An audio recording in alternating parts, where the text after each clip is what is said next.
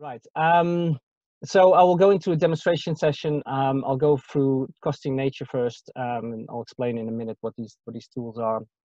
Um, probably about half an hour. Then uh, a Waterworld um, um, simulation or or demonstration, and and then I want to do a scenario analysis, which you can do in in both of these tools, but I'll focus on the hydrological world model called Waterworld. And then, if there's any time left, we'll do some questions. Um, during the session, there uh, will also be opportunity for, for questions. Um, so going through, if at any point you have a question, just put, please put them in the text box um, or in the chat box, sorry, and um, I will address them um, at certain intervals. For instance, when we start running the model, then um, we'll have a little bit of time to take some questions. Right. So first, a brief introduction. So I want to say a little bit about um, where we're coming from uh, in developing these tools. Um, so Costing Nature, Waterworlds, and, and the other model I want to briefly talk about is EcoActuary, are um, all part of what we call the policy uh, support systems. And the idea behind those is that we wanted to make science accessible.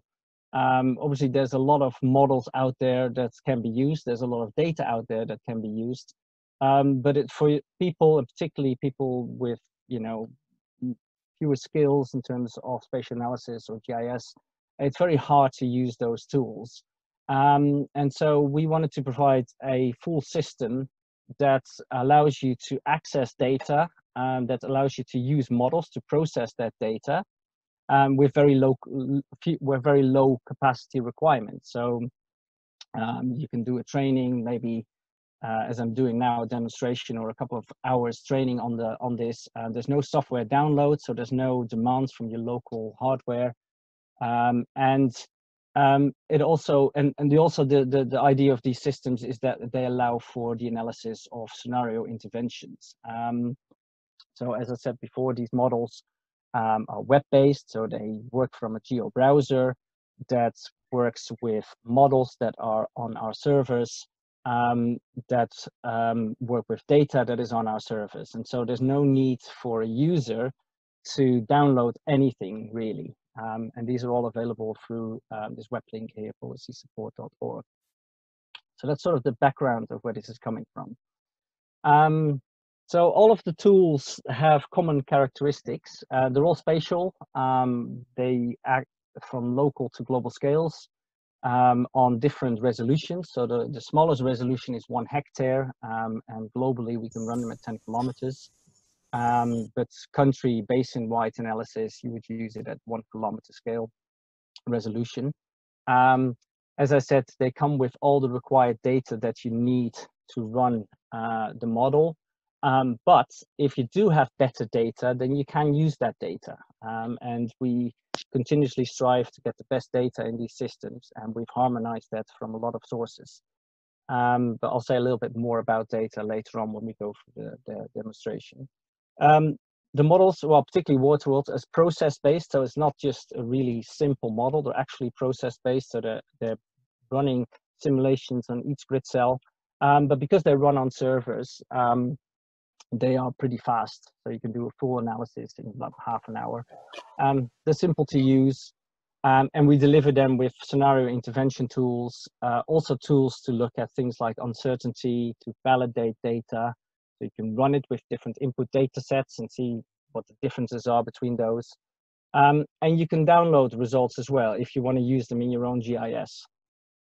Um, and they are free to use, um, but that's only for certain levels. Um, and I'll say a little bit more about those um, uh, levels later as well.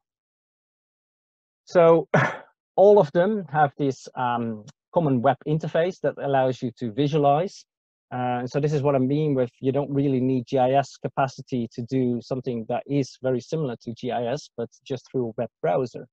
Um, so you can look at maps, obviously, but you can also do um, you can create scatter graphs, you can do histograms of the data, you can do uh, map animations, you look at time series, uh, we can do um, statistics, we can do zonal stats, uh, we can aggregate these maps by other maps, etc. So there's a lot of things that you can do in these systems without having to download any of the data behind it. Um, so the first model that I want to talk about then is costing nature. Uh, so this is a, a, ecosystem services model, uh, and it maps ecosystem services again at, at local, basin, or national scales. Um, and unlike some of the other models out there, it uh, distinguishes between potential services, so services that are produced but not consumed, and realized services, as we call it. Um, so services that are produced but also uh, consumed by beneficiaries. And so that's quite important to uh, distinguish to between those two, because often these, those are not in the same place. So as we heard this morning, obviously ecosystem services, a lot of them flow from the area of production downstream to where the beneficiaries are. Uh, for instance, a hydropower dam that is downstream of a, an upstream, upstream forest that provides the uh, continuous flow of water to it. And so to separate these might lead to the prioritization of different, uh, different areas. Um, it values ecosystem services in relative terms. So every map you get out of the system will give you a score between zero and one, um, almost all of them. Um, but you can also now value some of these economically. I will say a little bit more about that in the next, next slide as well. Um, in addition to ecosystem services, this tool also maps pressures. So things that are currently happening, so agricultural intensities, for instance, uh, mines, uh, roads, all those sorts of things that put a pressure on in terms of a, a conservation priority, and threats, which we um, sort of um, define as anything that could be a future threat. So these are things like agricultural suitabilities. Um, as I said before, there are uncertainty validation tools, and we can also run this on the scenario conditions. So costing nature um, at the moment uh, has 13 different uh, ecosystem services included. Um, so they're listed here.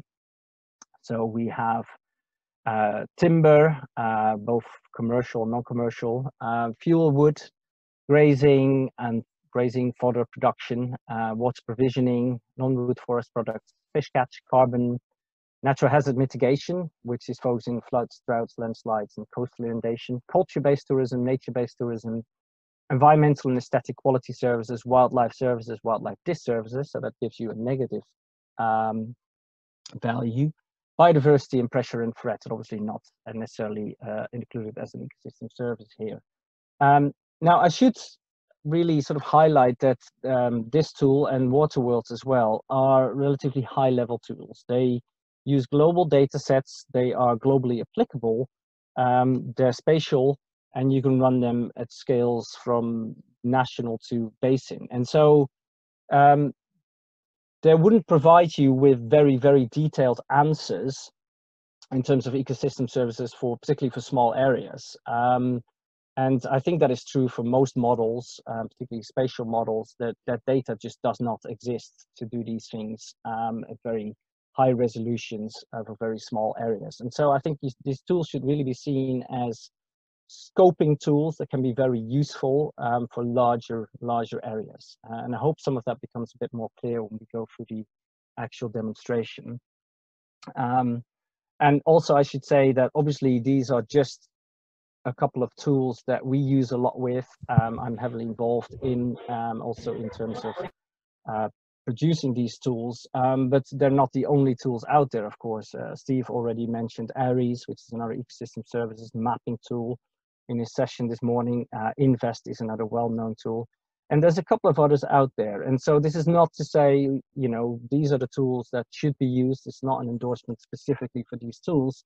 It's just one of the tools in, in, in a wider tool set. And we always um, encourage people to look at other tools out there as well that might be doing different things or look at different things. So this is just to briefly highlight um, that costing nature can do an economic valuation as well. Uh, this is still a relatively new component to the model. Um, and this does require quite a bit of user input because what is needed for all of these variables on the left here, you would have to um, put economic values in, use values and non-use values. Um, and so this is only needed if you are undertaking economic valuation. Um, this has been done so far for only a few places um, and would require uh, quite a lot of data on economic value. But it's just to say that it is uh, uh, possible to do that with this model as well. So then just an, a little example here. Um, so the kind of analyses that you could be doing with cost nature is this sort of prioritization analysis. Um, so in this case, um, looking at uh, ecosystem services, realized ecosystem services on the left, um, and biodiversity on the right. Um, and obviously there is this um, notion of uh, 30 by 30 as one of the um, proposals going forward in, in uh, conservation. Um, and this is a kind of tool that you could use to see what that would look like in spatial terms, right? Um, so on the left, I've constrained the top 30% pixels, um, so above 70% for ecosystem services. And on the right, I've done the same for biodiversity. And then we can clearly see on the scale of the whole of Tanzania that there are clear spatial trade-offs. So the realized ecosystem services uh, not surprisingly, is not exactly in the same place as where we see really high biodiversity values. Uh, so this comes back to that, um, what I mentioned earlier about um, uh, potential services versus realized services, because obviously realized services tend to be higher in areas where there are uh, people to consume them. That's why the realized services light up in areas around Dar es Salaam and, and other big cities. Um, so this is the kind of analysis that you can do really quickly um, in a tool like um, Costing Nature. Right, so that was a very, very brief introduction to Costing Nature. Um, I'll now move on to the other tool um, that we're going to be talking about today, which is WaterWorld. Um, so WaterWorld is uh, a more complex tool. It's a, it's a hydrological model, a fully distributed process-based hydrological model. And so it can be used to assess the supply and demand for water quality, quantity, regulation, erosion, and sedimentation. Um, and it's uh, also become very useful to look at things like natural flood management. Um, I can say a little bit more about that when we go through the actual demonstration. This tool also includes scenario tools um, to assess the impact of, for instance, climate change and land use change on the water-related services. It also includes a land use change model called Quick Look. And what this tool does, it looks at where is recent deforestation, um, and then it can project forward that recent um, deforestation based on um, uh, demand, spatial allocation, um, uh, so things, for instance, like accessibility, roads, etc. Um, and that's a quite useful tool because you know you can just look at what is the the deforestation rate over say the last 10 years um, and then project forward see what it would look like in 2030 or 2050 if we carry on like this on the business as usual. Um, and you can also speed it up or slow it down by setting a factor on that. Um, and finally, this tool also includes other policy options and intervention tools. So we can look at, and there's a couple of examples here, riparian buffer strips, uh, eco-efficiency, um, sanitation, water treatment, mining. There's some other options to look at population changes as well. Um, and so one of the outputs, uh, I think is on this next slide as well, is, is this map on the right here, which is a map of um, a wetland area uh, and looking at how far does the downstream influence go of this particular um, uh, wetland. And so it maps how far downstream um, uh, anything coming out of this wetland would go, which is, is quite useful to look at the influence areas. So the user interface for WaterWorld looks like this, which is very similar to what it would look like for Costing Nature. Um, we have uh, a map in the center and then on the left, um, we have uh, our, our, our uh, links to interacting with, with the tools. Um, and there's only a couple steps required. Um, set up your um, area, prepare your data, run a simulation, and then you can look at results and start doing uh, scenarios on top of that. Here's a little overview of the kind of scenario options that are available in Waterworld. So climate change, land use cover change, land and water management. You can also, as I said before, re replace some of the input maps. So if you have better data available for your area of interest, you can upload that. Does require some GIS skills to prepare that data. Um, and you can look at extractors population. And this little um, clip here is um, what the outputs look like. Um, I'll say a little bit more about that later during the demo. So these are some more example outputs. It's again focusing on Tanzania. So on the left here, we look at uh, baseline water balance. So this is one kilometer resolution, looking at the pixel-based um, water balance calculated by Waterworld. Um, and then some of the methods of aggregating the outputs. So this is averaging over administrative boundaries. This bottom one is averaging over sub-basins. Um, and this uh, table here is um, the statistics for this particular map. So it gives you all the stats, the, the, the minimum, the maximum, standard deviation, um, coefficient of variation, all of that. Um, and all of this at the click of a button. So it's, it's really quick and easy to do. On the right uh, is an example of the uh, output in terms of the runoff. So this is the total annual runoff cubic meters for an area of Tanzania as well. Um, and obviously this is focusing on the river system that we have in there. So um, that's just very briefly overview of those two tools. Um, and then a sort of word of, of caution, I guess, um, as with any sort of model and tool, um, there are times where these tools are very suitable. Uh, in other situations, might be less suitable. So we've tried to give a brief overview of that. So these tools are very useful when you don't have a uh, baseline um, or a very poor one, where you don't have a lot of data um, or capacity to assess ecosystem services, where you need something that is relatively quick, um, cheap, um, but still detailed enough for uh, management policy relevant scales and where you need to look at a projection of change factors. So if you're interested in, you know, what will happen on the climate change, what will happen if we convert this area to agriculture, what will happen to our hydrology in this particular area, um, without the need for running very complicated hydrological models, then these tools are, are very useful. Um, you should not use these tools when you need to predict uh, future magnitudes. So if you're looking at particular flow or sediment volumes at a particular dam, and it needs to be very uh, precise. Um, Waterworld is a water resources model, so it it doesn't run through time series of flow and it doesn't calibrate. This is the next point on here. We don't calibrate the model, um, which would also be too complicated. Um, for uh, you, know uh, someone with without those skills or when you have a very small site because this the, the smallest resolution on the models is one hectare. Um, and so it'd be it wouldn't make much sense to just look at a few pixels. Um, but for any other situation um, very uh, easy to use. So we have a lot of users um, as you can see here about three and a half thousand organizations have used it or are using it in uh, a lot of countries. Um, and on the right, you can see some of the um, intensity of use uh, in the word clouds uh, in terms of organizations, in terms of the questions that people would like to ask from these, these systems.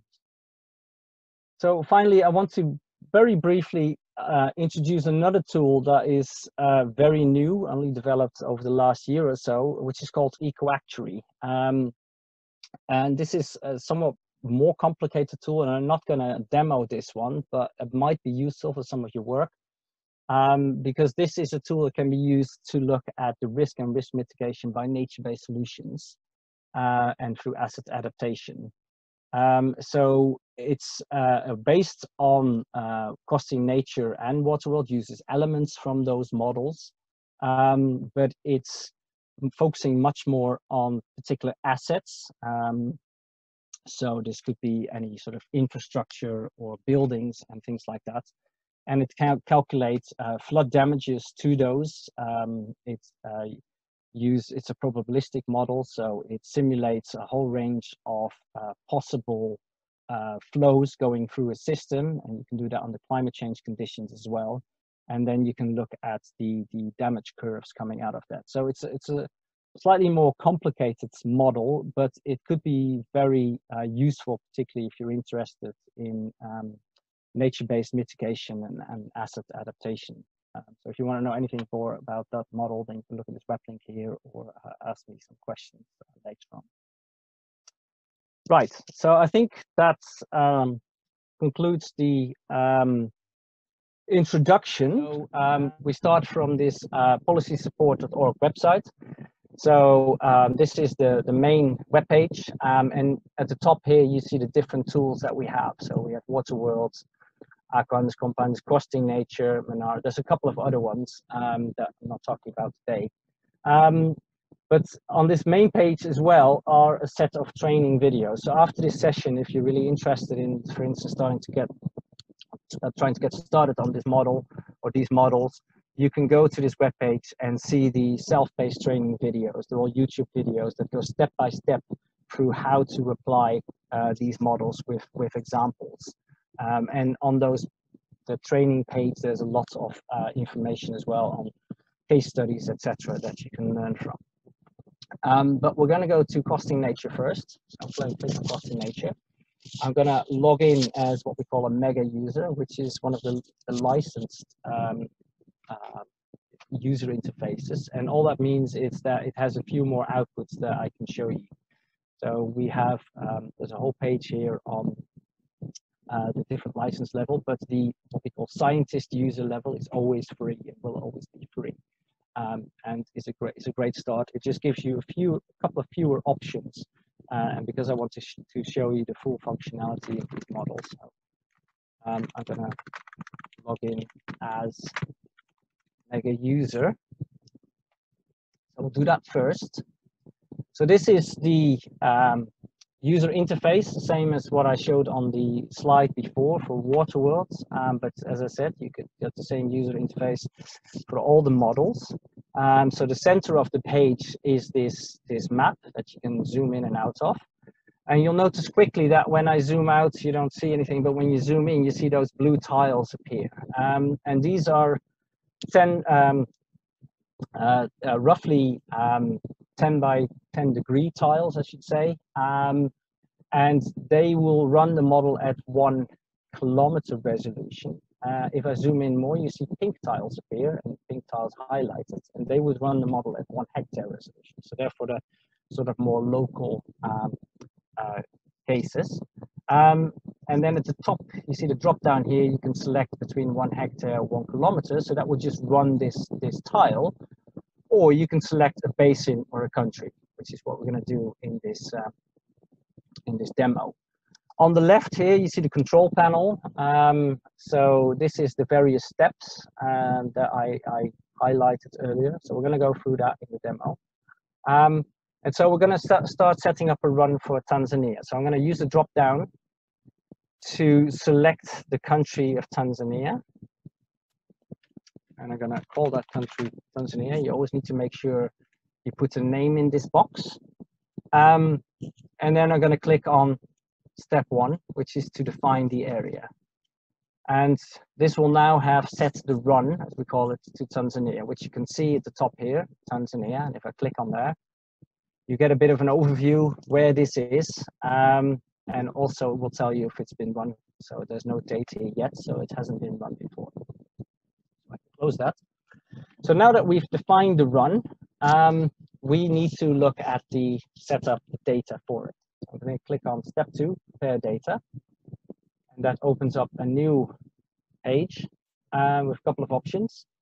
Um, list baseline workspace data. There's no point in clicking on this at the moment because I haven't copied over the data yet. Um, there's also a link on use alternative input maps. SimTerra is the database behind this model and all the models. Um, and that allows me to replace some of the input data that is in there already with versions that we have in our data set. So for instance, for land use, there's a couple of options. Um, there will be a couple of other maps as well that we can replace with older versions, for instance. Um, but by default, the model will always use the latest data sets available. So all we need to do in this step is to copy data directly to your workspace. That opens up a new window. Um, and what this, this model is doing now is it's pulling the data from the server, uh, the SimTerra data server behind it, and copies that data over into your own workspace. So that is your dedicated user space on the servers. Um, and if we hover the mouse over these little green bars here, you can see what it's doing. So it's unzipping data um, for different, so there's uh, 108 maps in total that it needs to unzip. So this usually takes one or two minutes. Um, but as with all interactions with, uh, with these models, um, nothing is done on your local computer. So as soon as you click on it, it will it will set that action in motion. Um, and even if you lose connection, if you then uh, regain your connection, the model will have just carried on doing what it needs to do. So there's a couple of steps in getting um, the data correct. Consistency between maps, that is in case you have changed some of the input maps, for instance. Uh, and so to come back to Jago's earlier question, you can replace all the data, but to do so, you will have to run a baseline first uh, with the data that is in there. So you have to copy over all the data to your workspace first before you can attempt to try and change that data. It should be nearly finished now.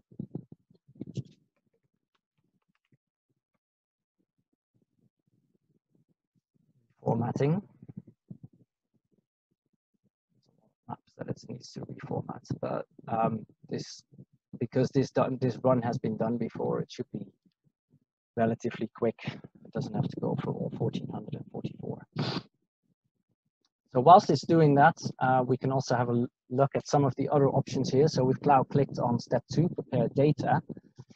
Um, but there is also uh, the help documentation here. So we have the system documentation, and the model documentation links here. So if you want to know about uh, more about the underlying assumptions, data sets, etc., um, that's uh, underpinning the model, then you would click on the model documentation.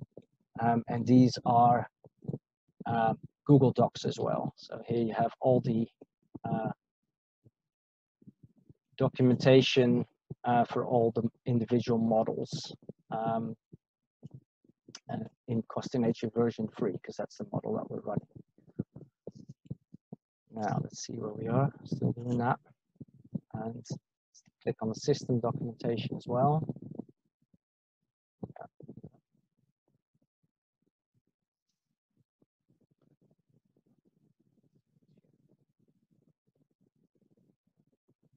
So this is a user guide, uh, which also has the individual steps highlighted, um, and these would all link to the documentation in terms of the videos, etc. So there's video demonstration, quick start, etc. here is available as well. Right. So just going back to that um, page that was copying over the data to our workspace that has now finished. Um, and so we can now have a look at the uh, data that we have. So if we look at show workspace data, there's these plus minuses next to it. I'll click on those. And that opens up this table um, with all the data sets in there. And when there, whenever there's a green icon like this, it means we can have a look at that data. Um, some of the data sets you can download some others you can't um, because we have permission to use that data, but not to redistribute it. And so that's that's another um, feature of these these models. Um, what I said in the introduction is that this is all about making data available and models available. Um, but it doesn't necessarily mean giving you all the data. It, it just means that we allow you to use that data because we have uh, license agreements with data providers. Um, we can put them in the system. The model can run on those data sets, but we don't have to give you those data sets. So it's, uh, it's a good way of being able to um, use all the best data available. Um, but as you can see, some of the data you can download. Um, and so again, coming back to Jacob's question about how to use your own data, if you want to do that, I would set it up like this and then download this study area map, which is basically a binary mask, zero to one uh, values of the study area. And that gives you the perfect extent and resolution of the data that we need for uploading. As I say, all these green icons are data sets that we can look at.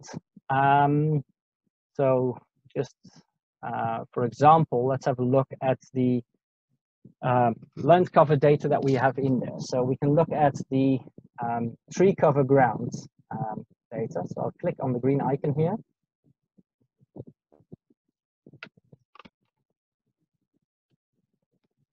And that gives us a map of fractional tree cover. So this is based on Copernicus land cover data 2015. And so this is the percentage of tree cover in each pixel. Um, now, the reason we use these fractional data sets and not categorical land cover data sets is because at a relatively coarse resolution of one kilometer, it allows you to have some subpixel heterogeneity that you don't have if you would have a categorical land cover data set. And that is particularly relevant for, for water worlds, which is the hydrological model, is that you know you don't just classify a whole one kilometer square as uh, forest or agriculture. You can have a much more fine-tuned way of classifying that that pixel. So this is the typical output you get, um, or I should say, uh, web viewer you get for looking at output maps. And there's a whole range of things we can do here. Um, so obviously this is this is the map and all your output data will be uh, served in this, this format as well. Underneath it is a range of options. We can download a KML file so we can overlay this on Google Earth. Um, we can get a histogram. We can pop out this map so uh, I can open another map and then compare the two because if I open another map then it will overwrite this particular map in this window. Um, but the viewer that I use most is the uh, Google Maps viewer. So if I click on the Google Maps viewer, we get yet another window. And now we can see this map in the context of um, the background. Um, so I can toggle the map on and off, um, set the opacity of this map, but I can also interrogate the map. So I can zoom into any area I like. See this, I don't know if you can see it, but there's a little red crosshair here, I can overlay that on an area, click on query, and it gives me the particular point value. So any one of you that have used the GIS, you will know that this is a very similar function you can do in the GIS as well. You can just get a point value. Um, but you can also click on inputs and then you get another icon here that allow you to get the values for all the underlying maps available. Now in this case, there's no point to do that because it's just an input map. But if we have an output map, we can look at all the underlying um, data that was used to create this map. Um, there's something else in this, this thing you can do. So if I zoom out, I can create uh, what's called a permalink. So if I click on this little icon here, this photo icon. Then at the top, you get a new icon, which is a link. And if I click on that, I get this, what's called permalink. Um, and that link will stay uh, available even after you close the model, even after your models are automatically deleted, your model runs, because the system only holds them for 72 hours. Um, these will stay available. And so this is a great way of sharing your uh, results with other people in your project. Um, you create a permalink, send it to them, and they, they can open this link and get this page, and they can zoom in and out and look at that map. Um, so closing that, um, we'll be looking at later anyway. Underneath the map, there are a couple of other options. We can change the image, so we can set the scales, we can look at positives only, look at negatives only. We can look at statistics. Um, we can uh, mask by other maps. Um, so if I click that, I get a drop down and there is a whole range of other maps in there that I can use to aggregate these values over, right? So if I want to look at what is the um, tree cover um, percentage in um, protected areas, I can click on protected areas and then the pop-up map will show me where protected areas are. So all protected areas have a value of one. So I can say equals one and then run that analysis. And in this case, something went wrong because it didn't show me where the what the value is in protected areas. Um, but I can assure you that is a function that works. Um, but we'll next time try it for another map. Um, uh, yeah, there's a couple of other things here, um, but I think I'll get to those once we've run the model. Um, so I'm going to close that now. So we have done step two, prepared our data. Then the next step to run this model is to run the actual simulation. And click on step three. Um, and there's only one thing you need to choose here is whether you want to um, index the values within the analysis area, so in this case, the whole country of Tanzania, or whether you want to do it globally. Now, the reason for having this option is if you have a study area that crosses two different basins, or two different countries, or two different tiles, um, then you will be, want to be able to compare them and stick them together in a GIS. So in that case, you can uh, index them globally. And what it will then do is then for each of those ecosystem services, it will um, it will normalize it between zero and one based on the highest value found globally and not within your study area. Now, in this case, we're only interested in results for Tanzania. So I'm going to set it to leave it to the default is to index locally. So that's all we need to do here um, and then click start. And that should um, start the analysis. Um, and then hopefully this will run relatively quickly. Costing nature is usually very quick, um, but it also depends on how busy the server is. So it will tell you what it's doing. So it's currently preparing variables. calculating downstream sums. That's important for looking at beneficiaries and things. So I'll show you how to do that. So now it's it's finalized. Um, so we can close that page um, and then we can go to step five, which is results maps. So I'll open this up. Um, and this will again open a new page um, with all the outputs um, for all the ecosystem services and some other maps as well. So starting at the bottom, we have a map of potential clean water provision. That's the only one that is in biophysical units. Um, there is uh, environmental aesthetic quality, uh, wildlife, uh, services, uh, fisheries, hardwood, softwood timber services, uh, non-wood forest products, uh, grazing and fodder services, nature-based tourism services. Um, so let's have a look at um, one of them or a couple. So this is the natural hazard mitigation index. So I click on that one.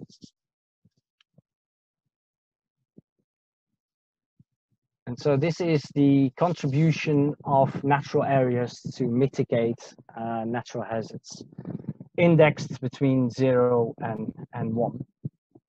Um, and so to come back to the question of can we download those, there's a download button here. So if I click on that, you can see you can download it as ASCIIs, uh, GeoTIFF, uh, IDRISI, always there's a couple of formats. Um, I usually use ARC, ASCIIs. Um, that can be imported straight away into your GIS. So the, the download will be a zip file.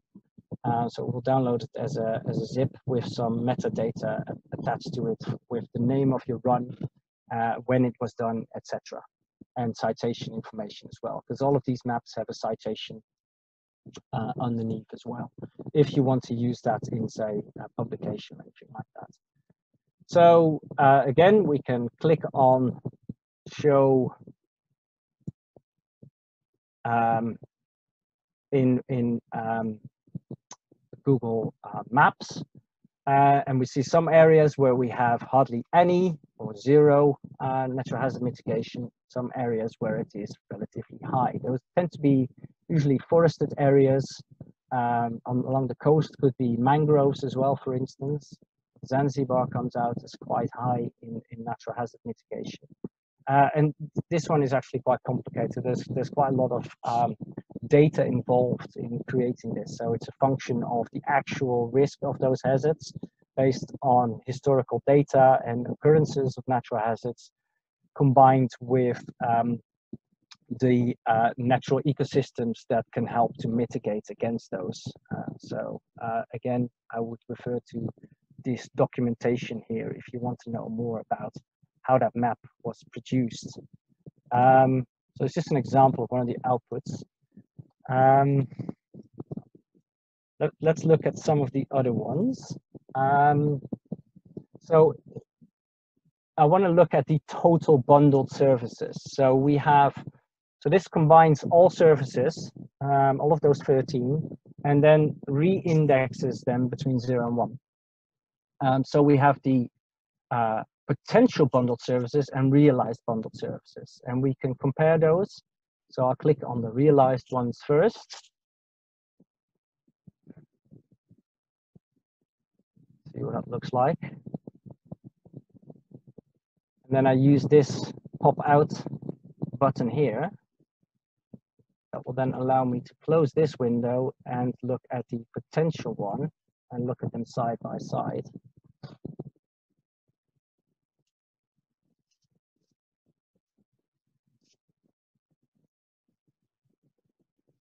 Right, so on the left is the potential ecosystem services, and on the right, it includes beneficiaries. Um, and so the beneficiaries included in costing nature are people, obviously, um, uh, agriculture as a recipient of irrigation water, um, hydropower dams uh, downstream of um, uh, along rivers, uh, obviously uh, beneficiaries of um, upstream uh, watersheds. Uh, and so, as I said before, you, you will often see um, a, a, difference in those two maps uh, based on the ones that the ecosystem services that flow. So these are all the place-based ones. Uh, they tend to be high in protected areas and densely forested areas, whereas the realized ones pop up in areas that uh, uh, will be low usually or lower in those areas, those that are red here, uh, and much higher in areas where there's lots of beneficiaries. Um, and so it's an interesting way to look at um, sort of you know, spatial prioritization question. Um, but obviously, these services wouldn't be realized at those locations if they weren't produced at these locations to begin with. Um, and so these maps are both, both important. Um, but in the actual true concept of ecosystem services, we have to include beneficiaries, right? And so for mapping them, we have to include those as well. Um, so I wanted to just say something a little bit about, before we move on, uh, some of the other maps that it produced here. So we have the biodiversity map as well. So this is uh, richness and endemism um, for uh, mammals, reptiles, amphibians, and birds. So this is based on IUCN data. Um, so hopefully this is somewhat familiar to people where high biodiversity areas are in Tanzania. Um, and then we have these pressure and threat indices. So future threats, according to accessibility, how far away people are from areas, uh, proximity to recent deforestation, projected change in population and GDP, projected climate change, and distribution of nighttime lights. So that's areas that are currently maybe intact, but could be uh, threatened in future. Um, and then pressure index is where the current pressures are. So this is where are the population densities highest, uh, wildfire frequency, grazing intensity, agricultural intensity, um, infrastructure, dams, mines, oil, gas, urban uh, is included there as well. Um, and then moving up in some of the outputs, um, there's one that is the Delphi Conservation Priority Index, which is also quite interesting because it's just an overlay of conservation priorities um, that have been done over the years by various organizations. So it includes uh, EBAs, uh, the ecoregions, the hotspots, the last of the wild, um, IBAs, KBAs, all of those. And that's just an, a map that just really quickly would tell you where do um, the various conservation organizations think should be protected or prioritized. So anywhere that's red in this map is where is incredibly important according to um, those conservation priorities identified by other organizations. Um, but the map that I want to get to is the top ones that combine all of them. And so we have what we call the uh, Nature Conservation Priority Index. So this is pressured and threatened conservation priorities where the uh, realized service provision is high. Um, so that's a, a, very you know important priority map. Then you can also look at uh, the where is there low conservation priority and potential service provision.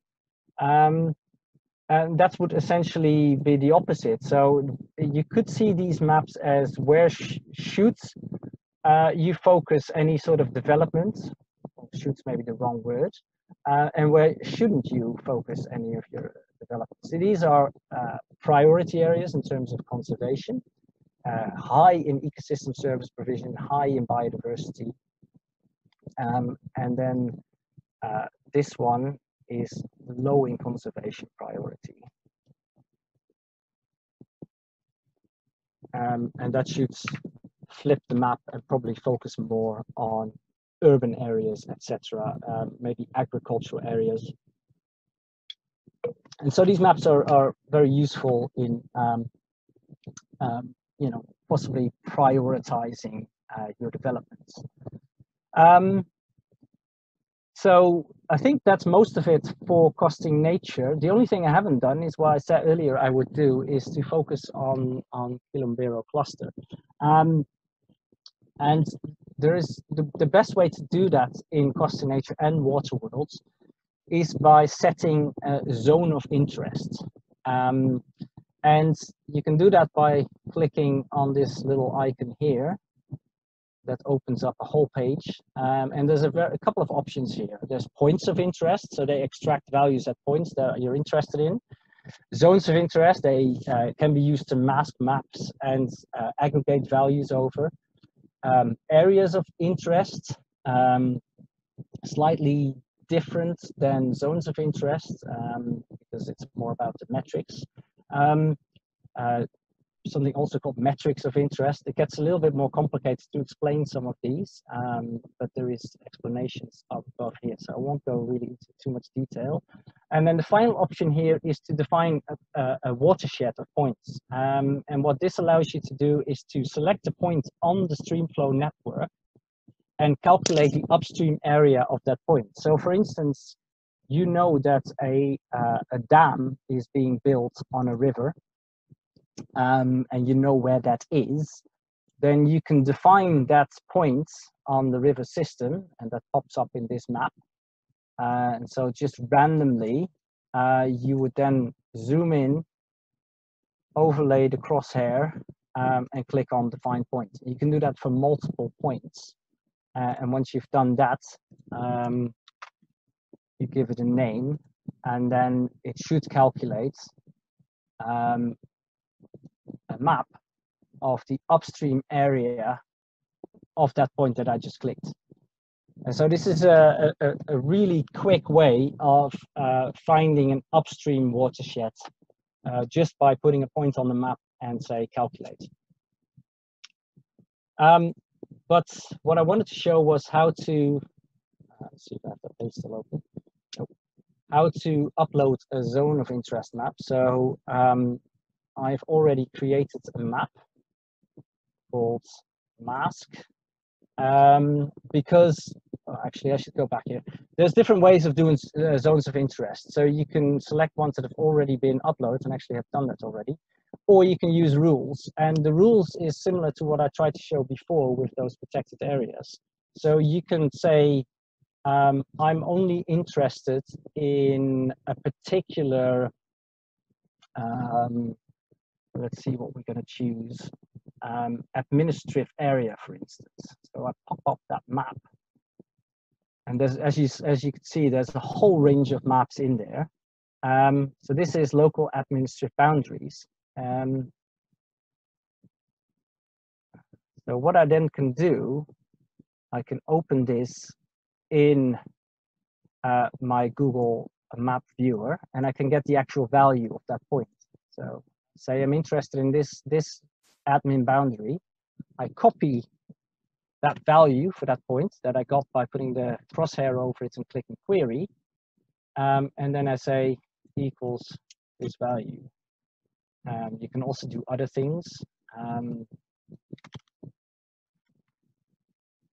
uh, by excluding areas, for instance, so you could you could say only select a certain elevation, for instance, um, and that should give me a map of just that area, right? And so this is the way we can really start targeting sub areas within any basin or any country uh, by the data that's already in there, um, or indeed by uploading data, as I have done for Kilombero.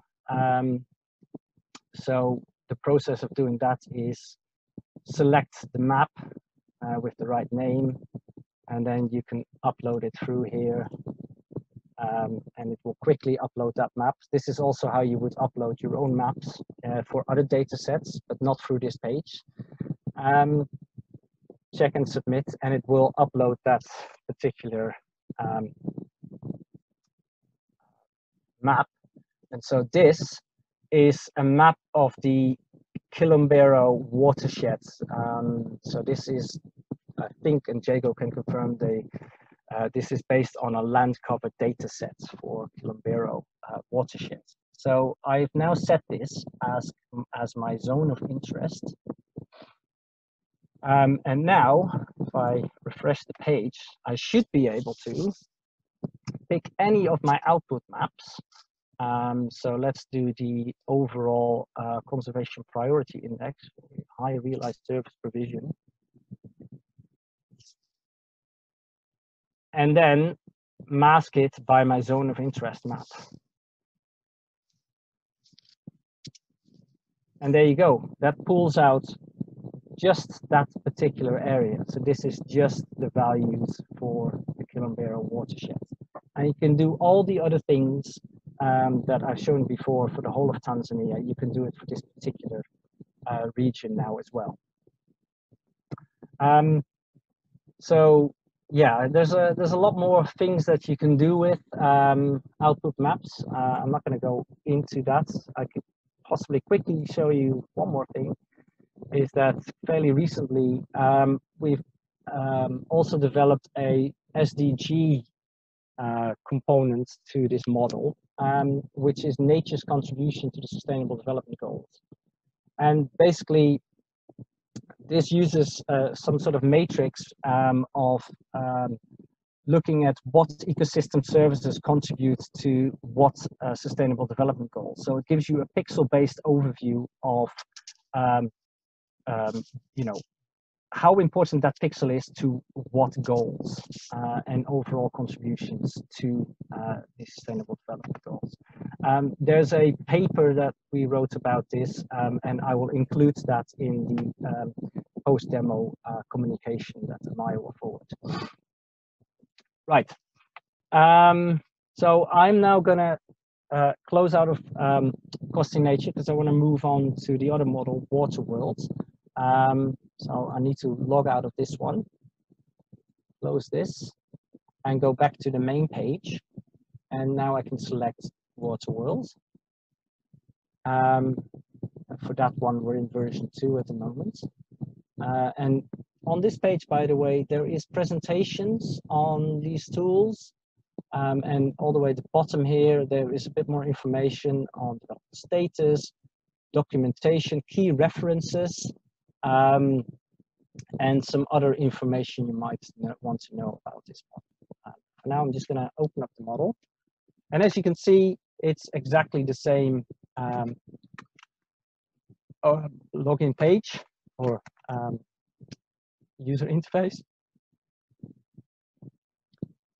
Um, and this works exactly the same as well, but the model behind it is quite different. It takes a bit longer to, uh, to run. Um, and so what I'm gonna do is I'm gonna set up for Tanzania as well. Um, so scroll down and the benefit for you is that you can see this done twice. Define area, it's always your step one. And then at the top here, we see it appear. There's also some other information at the top in both models. Um, what version you're in. Uh, sometimes you're in another version um, and you can't access all the runs, for instance, the license, license situation, uh, the disk use, etc. Um, or possibly relevant if you would start to use this model um, more regularly. So we've done step one, we defined the area. So the next step, same as costing nature, we need to prepare the data. Um, in this case, also we can use alternative maps, um, but for the baseline, I'm gonna say copy directly um, to Workspace.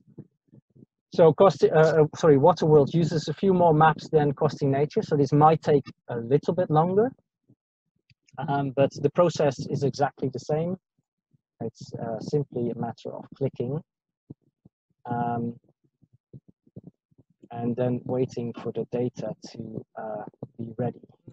So this is also, so I've now defined the area, prepared the data, um, and I'm now ready to go through, have a look at the workspace data. So obviously this is a different model, so it requires different data sets, right? So there's climate data in here, um, things like mean sea level pressure, um, cloud frequencies. It's, it's a hydrological model, so it needs quite a lot of inputs. Um, but also at the top here is this bit that says redefine land use and cover according to your own map. And that's that tool that I talked about earlier uh, that allows you to convert categorical data into um, um, the data that is required by these models. Um, and there is some, there's a tutorial on that somewhere in uh, um, the help pages. So I'm going to quickly proceed with running the model because the model takes a little bit longer to run. I'll hit start simulation. Um, here I have an option as well, um, which is to write maps or not. So Waterworld uh, uses a temporal time step of a month. So it does 12 months uh, a year, obviously, um, and it only gives you outputs for one year because it's a water resources model. So it does it takes an average of climate. Um, but if you would want to have those monthly maps, then you would have to click on write maps. Um, I'm not going to do that now because uh, just showing you the annual outputs and it's much faster to run it um, without writing all those outputs. Uh, so I'm just going to hit start and that should start running the model. Um, and this model takes a little bit longer to run, probably about 10 to 15 minutes. Um, so we'll just let that run and see how we go. Uh, and uh, I can always revert to an older run if I want to continue on showing some of the results. Um, something else I wanted to say about, yeah, so the time step in Waterworld, uh, it's not monthly, it's actually, uh, it, it runs um, four time steps a day for uh, uh, an average day in, an, in a given month. Um, so it has four diurnal time steps, as we call it, because some processes are obviously different at night from daytime, um, such as uh, solar radiation and evapotranspiration, of course.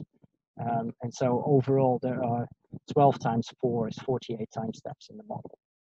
Um, so what it's doing now, it's copying over um, some of the maps that have already been calculated um, and that would include some of the solar radiation data sets. Um, so as I say, this model can be applied anywhere in the world, um, but it doesn't mean that it has been run for anywhere in the world. And so in some cases, um, in very remote areas or one hectare resolution, if the model's never been run before, um, it will have to do those calculations of solar radiation, which can take up to 24 hours. Um, so if that happens to you, you pick an area that's never been run before, uh, you just have to let it run overnight um, and then log back in the next day and, and it will have finalized. Um, so that's one thing to know about that. Um, so same as costing nature, on the left here we have the uh, system documentation and the uh, model documentation. Um, there's also older versions of the model. Um, so we're currently running version three, uh, sorry, two. Um, version three um, takes a little bit longer to run, um, but does include a um, subsoil component. So it will look at uh, groundwater and base flow uh, things as well. Um, as you can see, the model now says calculating fog. Um, so this model was originally developed um, as a, a, model to look at the contribution of cloud forests to the water balance. And so it has a, a quite sophisticated sort of component in there to calculate uh, contribution from cloud forests. Uh, and so this is not um, relevant in all geographies, um, but it can be quite a significant contribution in some tropic, tropical countries to the overall water balance. Um, as with snow dynamics, obviously, in, uh, in, in other places. But that's something else actually I can explain whilst it's running, is that, as I said before, um, these models don't store your data forever. So once you've run a model, um, it will only store your simulation for 72 hours. And the reason for that is that all these runs take up a lot of space, right? So every user has space on the server, um, but if you copy over all that data, start to produce lots of outputs, you can easily run into gigabytes of space. Storing space on servers is expensive, and it's a free model. So what we do is we give you access to the results for 72 hours. After that, if you if you still need access to it, you will have to rerun the model. Um, or you can use those permalinks as I showed you before um, to uh, to keep access to some of the output maps. Sorry, I keep doing this and forgetting what I'm doing. So I'll tell you what I'm doing. So on the left here is a button called Manage Simulations. Um, and that allows you to look at what simulations do I have in the system. Uh, so 10 degree, 1 degree, all types by default. Let's just leave it to default. Uh, click on that and it tells me I'm storing six runs out of a maximum of 10. Um, if you log in as a scientist, I think you're only allowed to have four or five runs. Um, but this is also where you can say delete my older runs. Uh, and if you don't delete them and you're at your maximum, you can't do a new run until you've deleted some of the old data. Um, so I can just scroll through here and this will tell me um, the different runs that I have in the system. So this is the one that it's currently doing. Um, let's see where we are.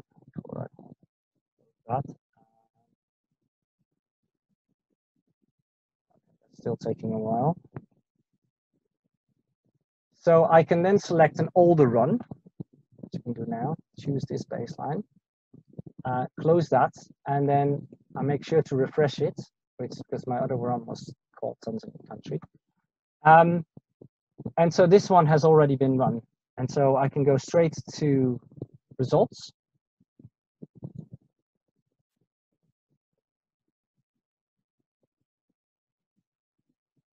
There we go. And so this is what results look like in water worlds. So you get a very similar page as Costing Nature, but obviously different outputs. So the, the table that you get first is the main results. If I click on all maps here, it gives me a whole range of other maps. Um, um, that I can download straight away in different formats, uh, or I can in, you know look at through uh, these these green buttons. So let's just look at some of the key results. The key result to me for a water model, a spatial water model, is the water balance. So let's have a look at the water balance. So this is the baseline water balance. This is the same map that I showed you in the actual presentation at the beginning. Uh, and then I said you can aggregate by other regions. And so I've explained in Costing Nature demo, you can do that by masking by this zone of interest or any other mask. But masking will give you the pixel values within that. We can also aggregate, and I can do that by clicking on View By. So if I click on View By, again, I get a, a drop-down menu of a range of maps. Um, There you go. Um, that I can use to aggregate this over. So the example I had in uh, the presentation was one of admin boundaries and sub-basins. So if I do that, so this is averaging the total water balance over major sub-basins based on this data set called HydroSHEDS, um, which is sometimes a much more um, informative way of showing outputs rather than the pixel-based outputs. We can look at, you know, what is that for this total area um, or um, again protected areas, although there seems to be a minor bug protected area data set. Um, but yeah, we can do that for other data sets as well. Let's see one that is. Um, see if this one works. Ramsar sites.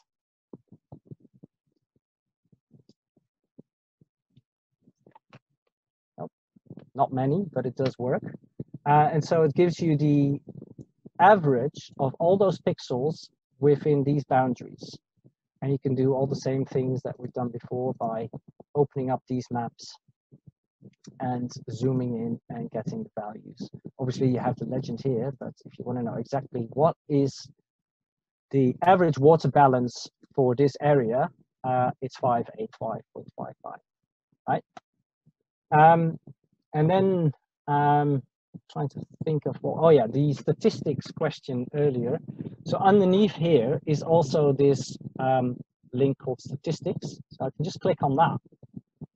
And this will give me the stats for the whole map. Um, so that was that table that I had in the presentation earlier as well.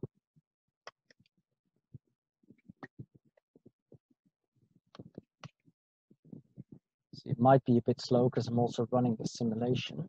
Oh, there we go.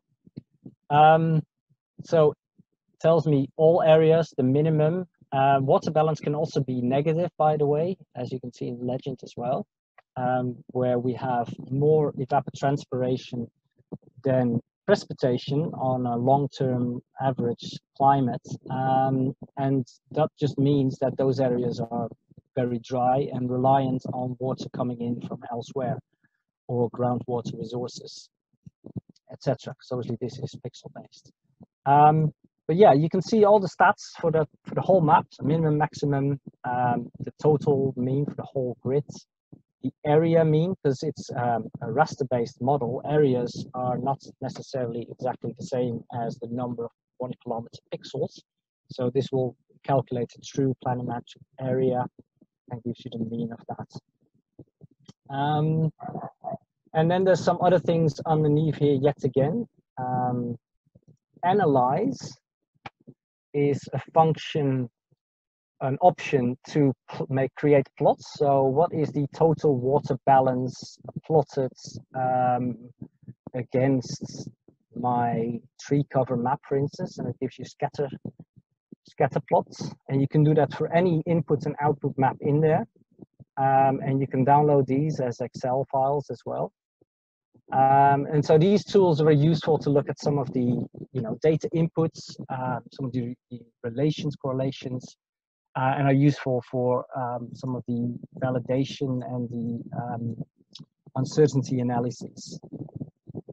Um, there's one thing called calculation, um, and that opens up again a whole suite of other options. Uh, map algebra, simple raster calculation, um, spatial functions, mean gradients, uh, that one does anything. Calculate bands. Um, so essentially what all these options do are very similar to what you can find in any GIS. So, you know, some of this will be more useful to people that um, you have used the GIS before. So, you know, convert to integer, convert to floats. These are all quite technical concepts, but could be really useful um, for specialists. And then there's some hydrological uh, functions here as well. Um, one of them I showed in the presentation, which was this um, uh, footprint. So the hydrological footprint is the downstream influence um, based on a water balance. Um, so yeah, there's there's a number of other options in Waterworld, um, and some of these are available in Costing Nature as well, that you can access once you've run the mo model. Um, so that's the the map-based um, uh, things. Well, actually, that yet again, there's more. I, I should show this one as well because this is the one I used again in the presentation. Is this threshold by function? So, you know, we were interested in the top 30% in costing nature. All I did there was the threshold by, show me above 70 uh, percent, uh, and it gives me the value. In this case, I can also say, say show me above a thousand uh, millimeter and exclude nowhere a year, and it should show me only those top areas. Um, and there is so it goes from a thousand to the top 2360 so there's lots of um, functions in here again that you would find in uh, uh, uh, any GIS um, right um, see time. Yeah maybe maybe I can show you one more thing. So um, as I mentioned before, water worlds can also be used to look at these uh, nature-based solutions options. Uh, and the way it works is it calculates storages. So it calculates blue and green water storages, for instance. Um, and so these maps are also produced, uh, or can also be produced, I should say. Um, and there's a whole range of um, accumulated storages, total storages, and it does these for different um, types of ecosystem or different um, um, stores, I should say. So floodplain storage capacity, uh, canopy storage capacities, um, total blue storage, total green storage, etc. And then we also have the protected storages.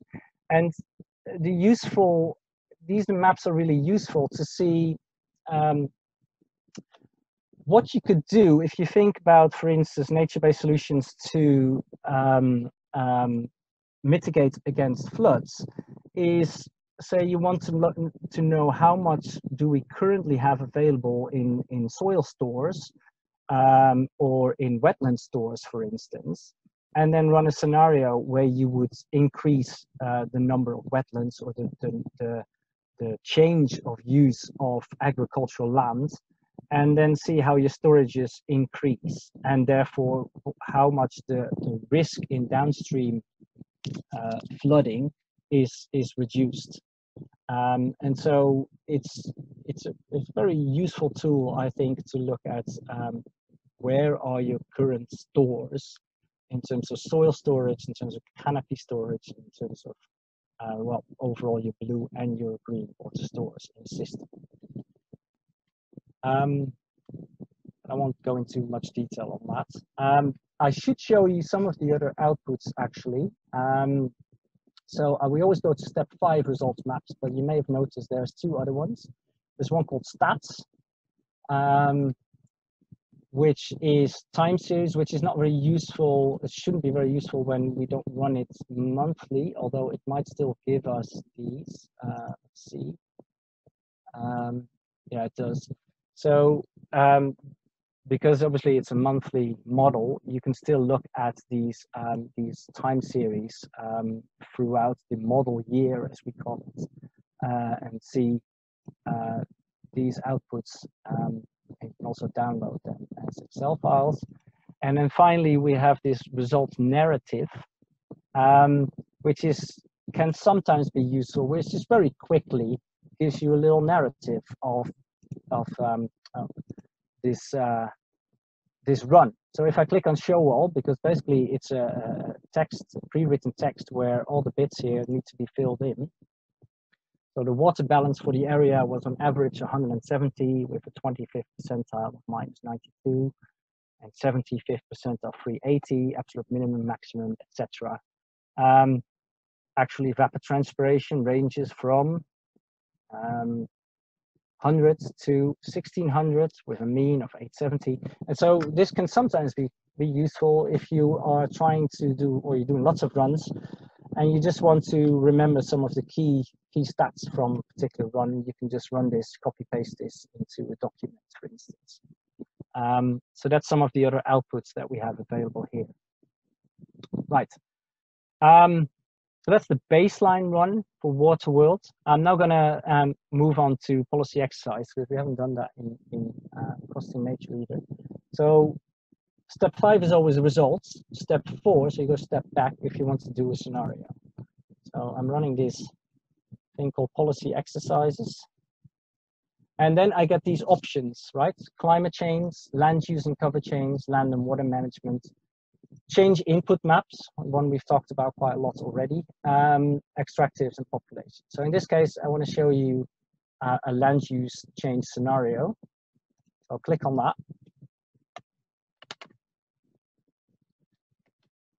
And that gives me a, a, bunch of options here as well. We can do a simple um, forest uh, to herbaceous or herbaceous to forests simulation using, uh, let's click on that. So this is just deforesting and reforesting really.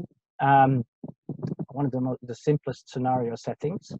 So you just say uh, deforest is a negative, reforest a positive, and then each pixel by a certain percentage. Um, and then you can include, exclude areas. Um, or you can define your own rule. So deforest or reforest each pixel by an X percentage for an X percentage of land where um, any of these maps has a certain value. So this is again the way to sort of target your scenarios. And then you can add other rules to it as well. So ignore, for instance, above a certain elevation uh, or below a certain elevation. Um, or any other map that you can find in here or that you can upload as a zone of interest. Um, and then obviously we can't just say we deforest, um, we also need to do something with that land afterwards. And so define converted areas um, can be agriculture or grazing or cropping or all natural or all protected. Um, so in this case, um, I'd like to do a um, scenario where we, um, let's say, convert the Kilombero um, uh, catchment into uh, more agriculture. So um, let's do a create land cover type. So this allows me to set percentage values for each of the land cover types that we have in there. So tree, herb, and bear. Um, so let's do agriculture. And as I said before, because of that way, you need to sort of interpret agriculture, you need to give it values. Um, so um, typically would be very low on tree cover, maybe 5%. This is for each pixel, right? Very high on uh, herb cover, because that's crop. And then uh, remaining could be bare cover. Um, and I'm going to do that for basically all pixels, so it's quite a drastic scenario. Um, for the Kilombero cluster, which is that map that I've uploaded previously. So zeta, zeta y equals 1. That's the value of that map. Um, and define converted areas as, let's say, the most common agriculture locally. And so this is either pasture or cropland, really. We can also do some other things with fraction of water exposed to contamination. Um, uh, so we can change, this is for the water quality calculations. Uh, we can change those values a bit. Um, and then there's a couple of other things which I just leave to default. And then check and submit. Um, this is also the page, by the way, where maybe you just saw that the um, land use change model runs from, the quick look land use change model. I don't think we have time to go into that, but um, that's the one that projects forward any sort of recent deforestation. So this also tends to take uh, a bit of time. Um, let's see, I could also revert back to a run that I've already done on this one. I might do that. Um, yeah, let's see. So this, what this will do is it's same to sort of the previous uh, run, you know, develop the, the data, so step two, prepare data, but obviously now it needs to make changes to maps as well. Um, so actually, I'm gonna close that. Um, and I'm going to go back to the run that I've done already, which was also called agriculture. I'll take that. See if I can show you.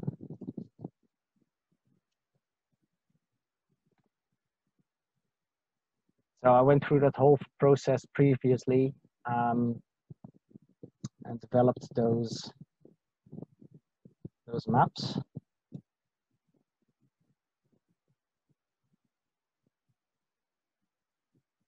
What it's doing now, it's looking at all the maps that change under the scenario conditions and then comparing those. So this is the whole range of maps. So if you set that scenario exactly the way as I just did, um, all of these maps will be affected, right? So clearly uh, the, the, land cover maps, these three, um, but it will also have a bearing on other land uses, right? So pastures, uh, croplands, areas even might change. I don't think they do, but these are all the ones that potentially change.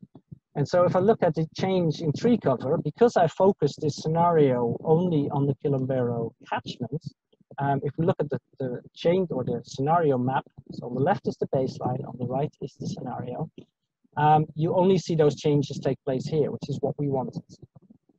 Um, if I scroll underneath, I get this uh, compare icon, um, or change icon, I should say. And if I click on that, I get a change map. And this is the way any sort of scenario result is presented in this model as well, is that you get um, baseline, scenario, and change. And so there's no change anywhere else. Um, uh, there is just change in um, the Kilombero catchment. So let's see if we can focus on that by just masking it. So this is even before running the model. This is just setting up the scenario um, of change in tree cover ground.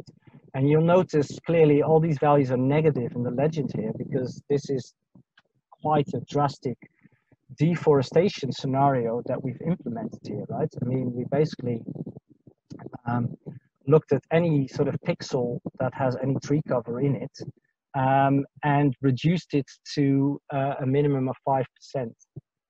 Um, and so pretty much all the blue areas see the greatest change uh, and the red areas, this is you know the way these colors work, are uh, the least change.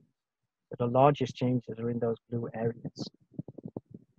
So this is something, whenever you set up a scenario, I would always advise to go through these maps and see, you know, did that make any sense? You know, because you set those parameters, you set up the scenario, and then at the end you get a page that just says run scenario. You could do that, um, but then you have no idea whether the way you set up the scenario actually makes sense. So I would always advise to have a look at, okay, did it do what I expected it to do? Uh, and in this case, it did because I only focused on this particular area here, and I wanted to see, I expected to see reduction in um, tree cover and, and quite a massive increase in croplands, which is the case, right? Um, and you should also be able to see that possibly for pastures. Yes. So obviously the agriculture there is a bit of a mix of pastures and croplands and both increase. So that's the scenario setup part. Um, something I haven't shown because we didn't go through to completion in the scenario setup is that you don't have to just stop at doing a land use change scenario. You can actually combine it with uh, what happens if I have a land use change and climate change. And that's what we call a stacked scenario. So once you've set up your scenario run, and I can't show that because we stopped that process, but you get a new window where you have the option of stack other uh, scenario on top of it. And then you can select uh, climate change, for instance, and say, okay, um, I'm having this sort of agriculturization in this particular area, but on top of that, I also want to see what is the added impact of um, putting climate change on top of that. And so that's a compound scenario, as we call it. Um, so we can't do that in that case, but that would be clear from the setup in this particular window. So just to clarify, the reason, the way I got to this window is in the top bar, you can always see what run you're in. So my baseline is this Tanzania country run. My alternative or scenario run is called agriculture. And when I click on it, I can see what my parameter values are. Um, and then you can click on show baseline and scenario and you get to those maps that um, I just shown you. Right, so we've done baseline, we've set up the scenario and I have run that scenario. So let's have a look at the scenario results then to wrap up. Now, I apparently canceled that preparation as well. So I can't show you results of the change analysis, unfortunately. Um, but um, I have shown you what it would look like through this interface. So whenever you run the scenario, uh, it's a real shame I didn't prepare that beforehand. Whenever you run the scenario, your outputs will be like this. So you get the same output you get from your baseline, but instead of um, just getting um, one map, you get this. You get your baseline map, you get your change, your scenario map, and you get this change map underneath it, right? Um, but any everything else will look exactly the same in terms of the outputs. So all your maps, the, the way you interact with them, um, will be exactly the same. So we can look at baseline, scenario situation, and then change situation. And then you can even look at, there's another thing where it's just done in percentage change. Um, and so for each output map, you will get all of those uh, change maps um, with the histograms of that data as well. And then obviously you can do exactly the same um, interaction. You can view it straight in uh, Google Earth. Um, so we can do this, we can query the values, uh, we can look at the inputs. This, oh, that's not done, so I can't do that for this one. Um, and we can also do all the statistics, etc. on the maps. So all the other things that we had available that are shown in um, costing nature, uh, the view by functions, etc. You can do in this map. Uh, and then the one thing that I didn't show, let's see if I can just go back to the baseline results. Um, so go back to manage simulations.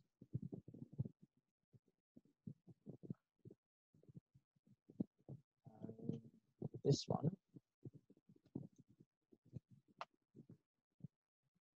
And then the results.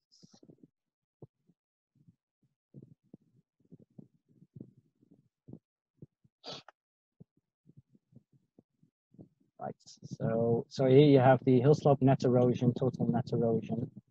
Um, and then there's a couple of uh, erosion maps further down as well.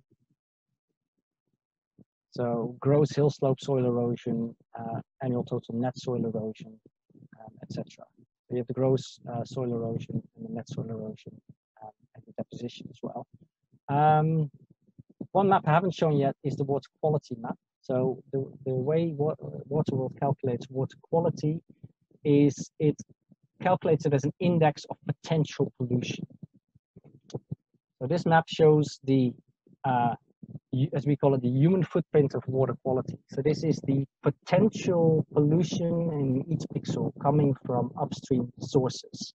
Um, so this includes agriculture, includes point-based sources like mines, etc. Um, and it will tell you, you know, on a scale between zero and 100%, what is the potential pollution of this pixel. And this also obviously will change under scenario conditions. Um, let's see if I can show what I wanted to show the other map. These pixel-based values, see if it gives me the inputs.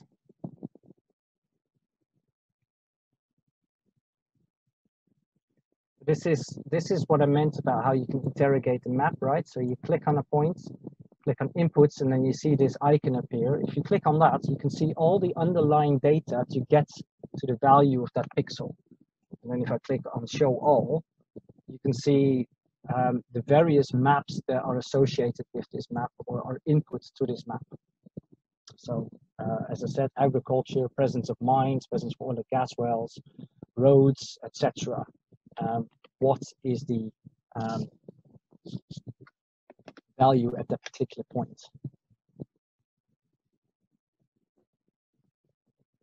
In this case, it has quite a high, what, 45% potential pollution, which seems to be mostly because it's actually um, a bare area, which means it is uh, possibly, well, not according to these maps. Um, oh, it is a road actually. So there you go.